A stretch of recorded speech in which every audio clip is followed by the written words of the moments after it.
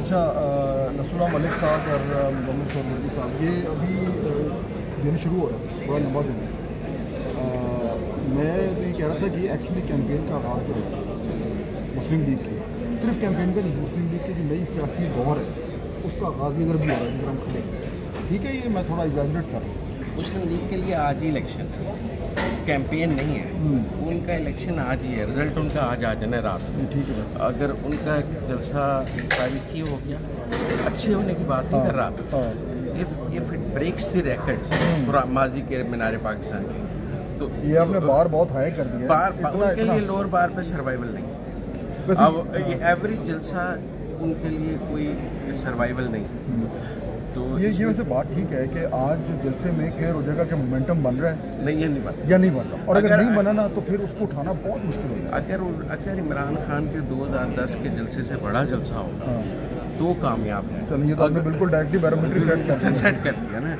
तो अदरवाइज़ नहीं। इतना है डू और डाई या थोड़ा सा मेरे ख्याल में मुजम्मल खेल- की बात ठीक है। आज बड़ा चैलेंज है मुस्लिम नवाज़ के लिए। और फिर मियाँ नवाज़ शरीफ की वापसी।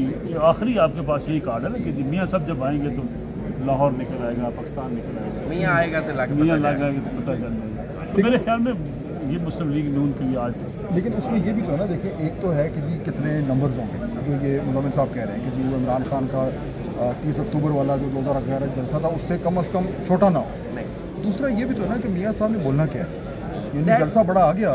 और उनको बोलने के लिए उनके पास कोई बड़ी ऐसी कोई ज़बरदस्त चीज़ ना हुई जिससे लोग कहें जी ये देखो ये आ गया अब ये लाइन है लाइन लेंथ आ गई वो अभी तक तो क्लियर नहीं हो रही। देखिए अगर लोग कम हुए तो बात अहम अगर लोग बहुत ज़्यादा हुए तो बात अहम नहीं क्यों और मेरे ख्याल में ये बात ये भी दुरुस्त है और जलसा बड़ा हो। अगर देखिए बैरोमीटर वही है। जितना जितना ज़ोर लगा दिया उन्होंने हाँ। अब जलसा ना हो। हाँ। सारे पाकिस्तान से जो है वो नहीं फिर बड़ा जलसे की बात नहीं करते।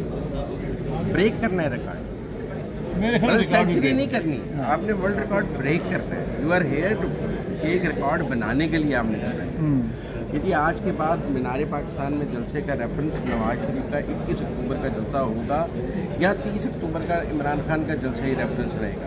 और उसमें ये भी ऐड कर लेना मामला। फाइनल में कंक्लूड यहाँ पे करता हूँ कि इस टाइम जो माहौल है जो इलेक्शन के हवाले से जो ग्राउंड से रिपोर्टें आ रही हैं उसमें मुस्लिम लीग ने ये भी प्रूव करना है कि वो इस time second most popular party नहीं है जबकि परसेप्शन यही आ रहा है कि वो है। लेकिन बहरहाल उसके लिए आज का दिन बहुत इंपॉर्टेंट है और यहीं से ये मामला शुरू हो रहा है। अभी मेरे ख्याल में मियाँ नवाज़ शरीफ आने वाले थोड़ी देर में तो पता लग जाएगा कि आज के दिन का मोमेंटम जो है कैसा डेवलप हो रहा है। Thank you sir thanks